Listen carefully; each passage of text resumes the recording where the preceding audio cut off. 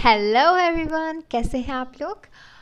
Welcome back to my channel आज के lecture में हम लोग पढ़ेंगे अबाउट द राइस जिसका साइंटिफिक नेम है ओराइजस सटाइवा एल देखिए, यहाँ पे एल इसलिए लिखा है बिकॉज़ ये जिस साइंटिस्ट ने डिस्कवर किया होता है, यहाँ लास्ट में उसका वर्ड लिखा जाता है ओके और फ़र्स्ट वर्ड कैपिटलाइज होता है। एंड जब आप इसको हैंड रिटर्न लिखेंगे तो इसको सेपरेटली अंडरलाइन भी करना होगा। Okay so this is Oryza sativa L and इसका इंट्रोडक्शन में देखिए बता रखा है कि क्योंकि बहुत बच्चों को जो हिंदी मीडियम के होते हैं स्पेशली उनको ये प्रॉब्लम आता है कि मैम पैडी और राइस में क्या डिफरेंस है ओके तो ये मैं आपको पढ़ा रही हूँ, इसका पीडीएफ मैं नीचे लिंक में डाल दूँगी, आप इसको इजीली देख सकते हैं और वहाँ से पढ़ भी सकते हैं पूरा, अगर यहाँ पे आपको क्लियरली विजिबल नहीं भी हो तो। बट मैं आपको एक बार ओवरऑल समझा देती हूँ। हो सकता है हमें एक से ज़्यादा भी लेक्चर लग जाए राइस के लिए बिकॉज़ ये बहुत बड़ा और इंपॉर्टेंट टॉपिक है। तो देखिए, सबसे पहले मैं आपको पैडी और राइस के बारे में डिफ्रेंशिएट बता रही थी बिकॉज़ बहुत सारे लोग ना पैडी और राइस को इतना फ्रिक्वेंटली यूज़ करते ना, कि उन्हें पता भी नहीं होता कि पैडी और राइस में क्या डिफरेंस होता है स्पेशली वो जो एग्रीकल्चर बैकग्राउंड से नहीं होते हैं।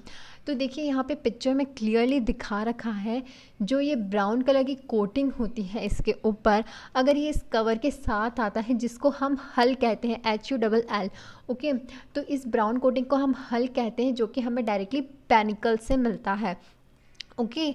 और जो उसको हम जो पॉलिश कर देते हैं, उस हल को हलिंग कर देते हैं, उसको हटा देते हैं, उसके बाद हमें अंदर से जो वाइट दाना मिलता है, जो हम लोग खाते हैं, उसे हम राइस ग्रेन कहते हैं। ओके? तो आई होप पैडी और राइस में आपको डिफरेंस समझ में आ गया होगा। ठीक है? इसके अलावा हम देखते हैं कि राइस जो होता है, वो हमारे इंडिया का बहुत इंपॉर्टेंट फ़ूड है और इसको स्टेपल फ़ूड भी कहा जाता है because most of the India की पॉपुलेशन क्या करती है? इसको डायरेक्टली कंज्यूम करती है। ओके okay, और सबसे ज़्यादा भी इसको एशिया में ही पाया जाता है और इंडिया इसका सेकंड नंबर पे प्रोड्यूसर है। फ़र्स्ट इज़ द चाइना ठीक है? इसके नेक्स्ट हम देखते हैं। देखिए यहाँ पे डायग्राम में पार्ट्स ऑफ़ पैडी प्लांट्स बता रखा है। ये नीचे है रूट्स दैन ऊपर है leaves then stems then panicles ये जो कलियाँ लगती है जिस पे ब्राउन कलर के हल्के साथ राइस होता है, उससे पैनिकल कहा जाता है ओके और ये जो इस, ये स्टैम्प्स होती हैं इसकी, और इसका मेन चीज़ देखिए, आप एक रूट पार्ट से दो तीन प्लांट्स की ब्रांचेस निकल के आ रही हैं ओके तो ये वाला भी जो होता है, इसे हम टिलर्स कहते हैं, जो एक ही में से दो तीन आ रहे हैं तो जैसे तीन आ रहे हैं यहाँ पे तो हम इन्हें तीन टिलर्स कहेंगे, ओके? तो आई होप आपको टिलर समझ में आ गया होगा। पैनिकल भी यहाँ पे ये जो धान लगी हुई है, इसे पैनिकल कहते हैं। ये इसके लीव्स होती हैं और ये इसके स्टैम्प्स हैं, ओके? इसके अंडरग्राउंड रूट है और यहाँ पर देखिए पानी भरा हुआ है। ओके आई होप आपको समझ में आ गया होगा डायग्राम चलिए नेक्स्ट इंपॉर्टेंस की बात करते हैं. तो राइस में हमें ज़्यादा प्रोटीन नहीं मिलता है बट हमें कार्बोहाइड्रेट इसमें बहुत अच्छी मात्रा में मिल जाती है which is seventy eight point two gram पर हंड्रेड ग्राम में. ओके okay, तो काफ़ी अच्छी मात्रा में कार्बोहाइड्रेट की मिल जाती है. प्रोटीन सिर्फ़ सिक्स पॉइंट एट ग्राम मिल पाता है. फैट फैट 0.5 ग्राम मिल पाता है, क्रूड फाइबर्स 0.2 ग्राम मिल पाता है, मिनरल मैटर 0.6 ग्राम मिल पाता है, एंड कैल्शियम 10.0 मिलीग्राम मिल पाता है। ओके तो ये सब इसकी इम्पॉर्टेंस थी। उसके अलावा हम देखते हैं तो हम राइस का क्या इम्पोर्टेंस है कि हम इसको खाने में यूज़ करते हैं। हम वाटर के साथ इसको बॉईल करके खाते हैं।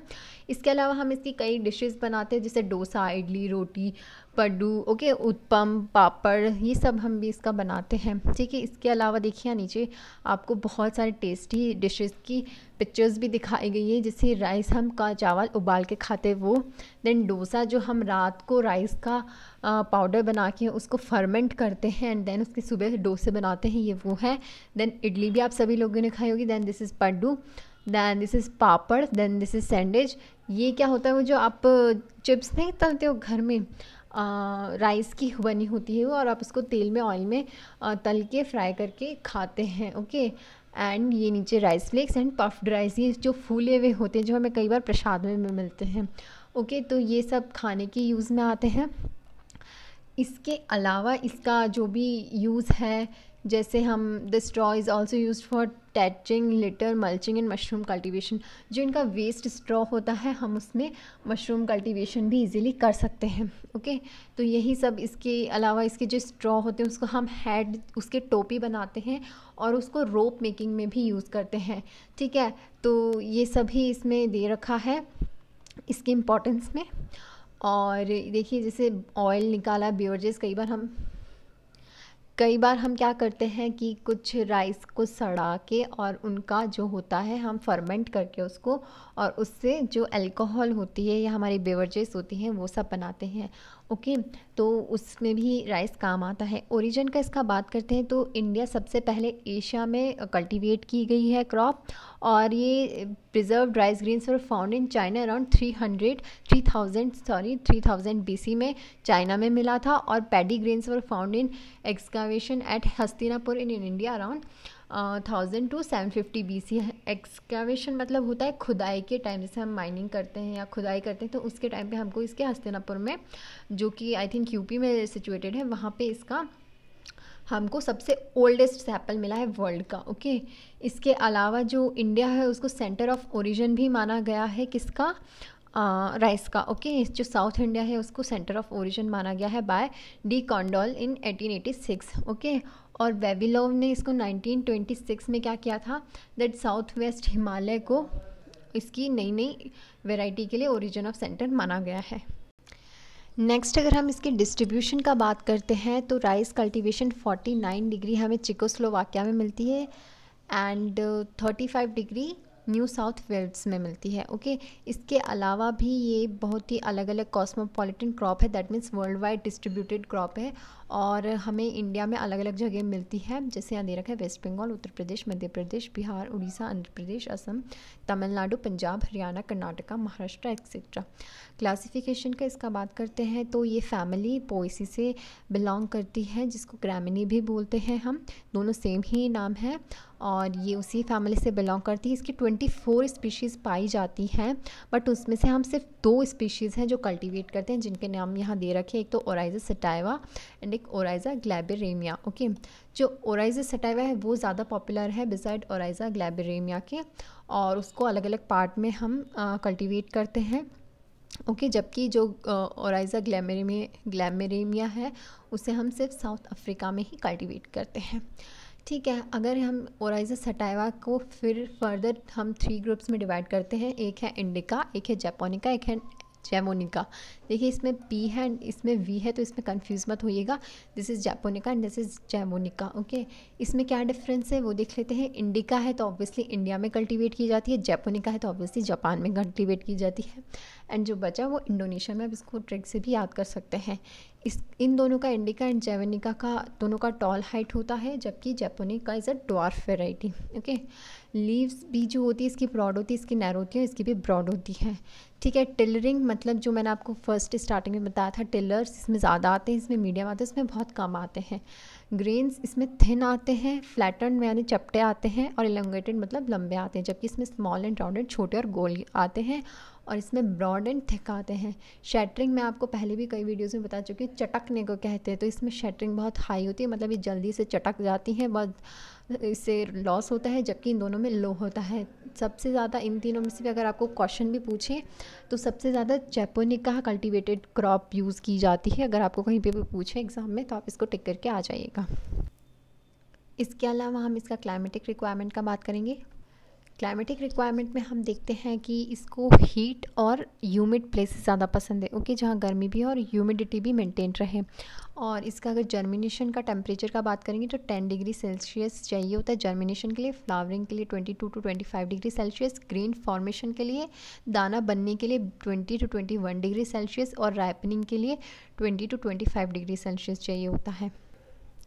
इसके अलावा अगर आप देखेंगे तो इसमें अगर ज़्यादा लो टेम्परेचर होता है, दस से ग्यारह दिन के बीच में तो इसका जो दाना है मतलब जो male pollination male pollen grains होता है, वो स्टराइल हो जाते हैं दैट मीन्स वो स्टर्लिटी लॉस कर जाते हैं स्टराइल हो जाते हैं, फिर वो फर्टाइल नहीं कर पाते हैं फीमेल को ठीक है तो ये भी क्वेश्चन कई बार पूछा जा सकता है आपसे कि लो टेम्परेचर होने पे वो क्यों नहीं जर्मिनेट करते तो आप उसका रीज़न देंगे स्टर्लिटी की वजह से ओके okay?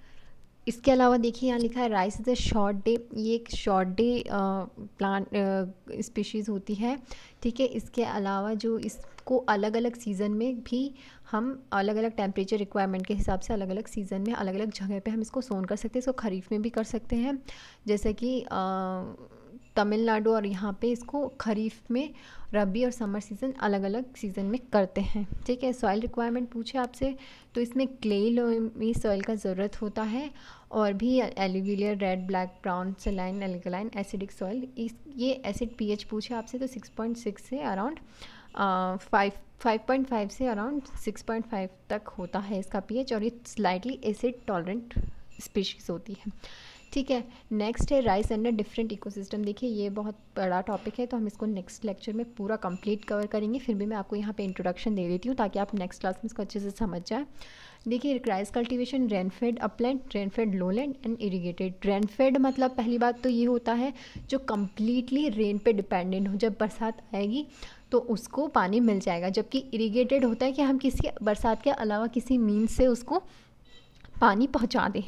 अपलैंड अब लोलैंड अपलैंड फिर रेनफेड में दो आते हैं। अपलैंड मतलब जो थोड़ी हाइट पे होते हैं, जहाँ पे पानी कम टिकता है। बिकॉज़ ऑफ़ स्लोप वहाँ पानी का कम टिकता है और वहाँ पे वाटर इरोजन हो जाता है सॉइल इरोजन हो जाता है। तो उसे हम अपलैंड कहते हैं। इन लो वाटर कंडीशन वो अपलैंड होता है लो लैंड होता है, वहाँ पे हाई वाटर कंडीशंस होती हैं और उसे हम जो नीचे होता है, क्योंकि वो तो उसे लो लैंड कहते हैं और अपलैंड मतलब ऊपर होता है। ठीक है? इसके अलावा देखिए, यहाँ स्टेजेस ऑफ़ राइस कल्टीवेशन है। पहले ग्रीन बना, ठीक है? फिर हमने मतलब पहले लैंड प्रिपरेशन किया, ठीक है? पडलिंग वगैरह की हमने, फिर वहाँ पे प्लांट इस्टेब्लिशमेंट किया मतलब ट्रांसप्लांटिंग की, फिर वहाँ वाटर मैनेजमेंट किया, फिर न्यूट्रिएंट मैनेजमेंट मतलब फर्टिलाइज़र वगैरह डाला, फिर पेस्ट मैनेजमेंट किया पेस्टिसाइड वगैरह डाला, फिर हार्वेस्टिंग की देन उसको ड्राइंग किया, फिर स्टोरेज देन माइलिंग मतलब उसको ब्राउन राइस से वाइट राइस बनाना, जो पॉलिश होते हैं वो, और फिर वो वापस से उससे ग्रीन बन जाना एंड देन ये साइकिल चलती रहती है, ठीक है? तो फ़र्स्ट है इसमें रेनफेड अपलैंड राइस ये सब मैं आपको नेक्स्ट लेक्चर में पूरा कंप्लीट करवा दूँगी, क्योंकि अभी आपको भी इतना सब एक साथ डाइजेस्ट करने में प्रॉब्लम होगा और कोई भी इसके अंदर आज के लेक्चर की कोई भी प्रॉब्लम हो तो आप मुझे नीचे कर कमेंट करके बता सकते हैं, मैं पीडीएफ का लिंक डाल दूँगी, आप वहाँ से देख सकते हैं। फिर भी कोई डाउट हो तो आप मेरे इंस्टाग्राम अकाउंट पे भी पूछ सकते हैं, जिसका लिंक मैं नीचे डालूँगी। आज के लिए इतना ही थैंक यू सो मच